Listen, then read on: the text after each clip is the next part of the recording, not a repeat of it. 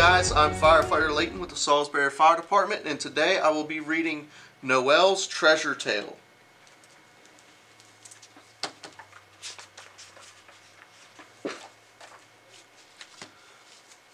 The dark skies seemed to open, pouring rivers of rain, as eleven brave galleons made their way back to Spain.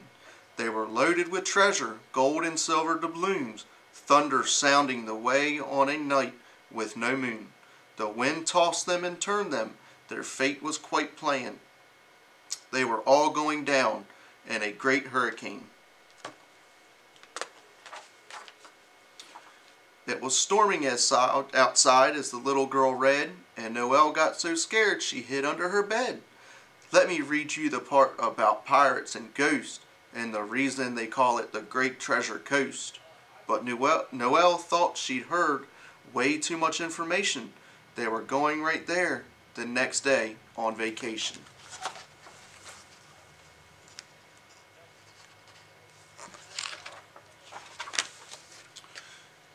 Maybe we'll find the treasure, Noel, some for each. There's a chance that it might have washed up on the beach. If the stories are true, one piece never found was a Christmas gift meant for the Queen, a gold crown. Noel's head was spinning while watching a plan. She'd have to dig zillions of holes in the sand. If there was a treasure, by golly, she'd find it, and maybe unravel the mystery behind it.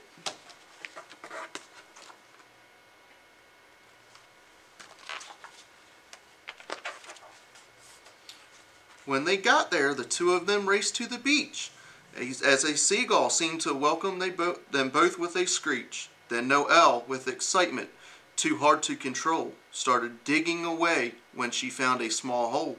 Noel scooped out the sand till her snout could not fit, and then yelped as she felt a sharp pain in her chin.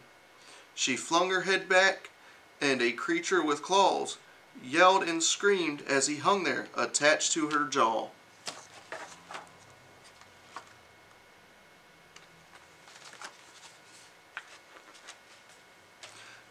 Stop, stop. What are you doing?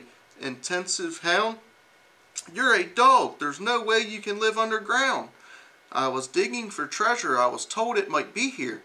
Didn't mean to upset you, said Noel, quite sincere. Listen up, said the crab. I've been searching forever. We might find it much faster if we both work together. Farther down on the beach, Noel saw, in a bunch, 20 sandpipers slurping up sand fleas for lunch. They were miniature birds running fast and fro, trying not to get caught in the waves undertow. One called out to Noel, we don't mean to butt in, but if treasure's your gold, gold, in the forest begin. Noel crouched down and asked, Want to go for a ride? The crab climbed on her back and they ventured inside. Glaring under some bush like two marbles they shone, eyes that stared at Noel like a dog at a bone. Then a deep grumbly voice broke the still of the air. Whose permission have you to just traipse through my lair?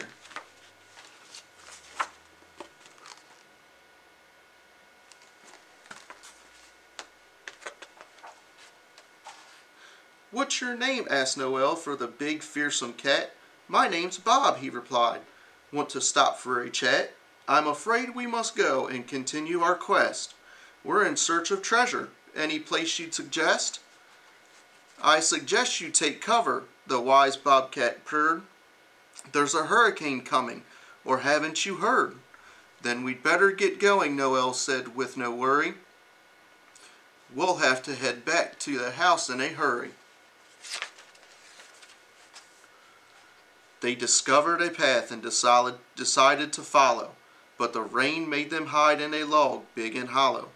Noel thought out loud, what we need is a map, but until it stops raining, we might as well nap. As Noel nodded off, she could hear distant thunder, while dreaming of treasure and pirates who plunder.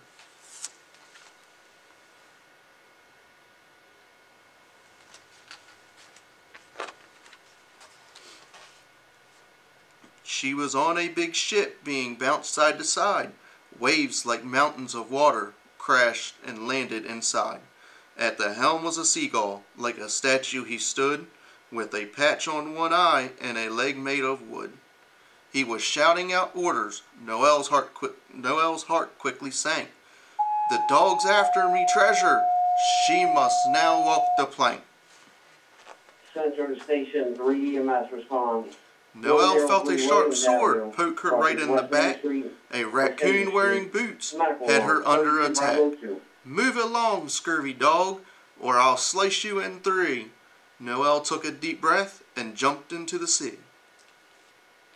Just as soon as Noel was convinced she would drown, she discovered she was falling up and not down on the back of a turtle who had swum down to save her. To the surface she rode on her turtle elevator. She said, How can I ever kindness repay? I will give you the treasure if I find it one day.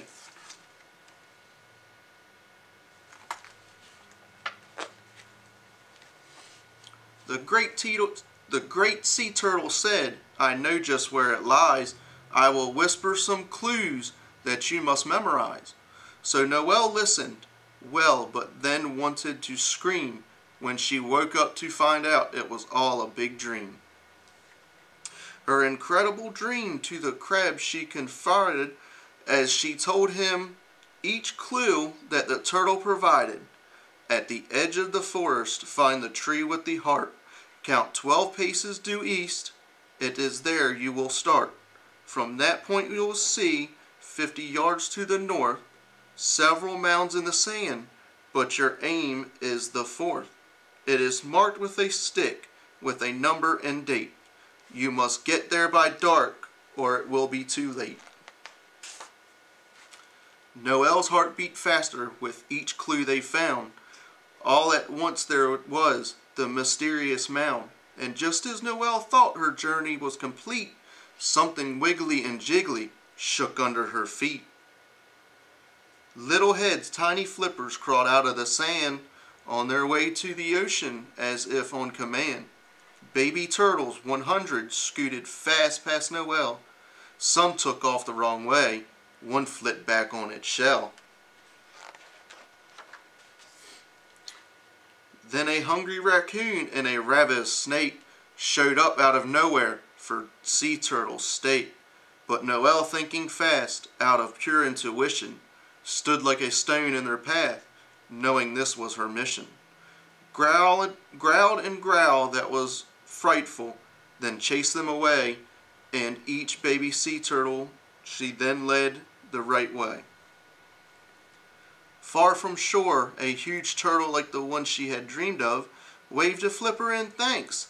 At least that that's how it seemed. Noel figured her dream must have come as a sign. She glanced back at the mound where she saw something shine. One more turtle, she cried. We must dig farther down. Gently using her teeth, she pulled out a gold crown.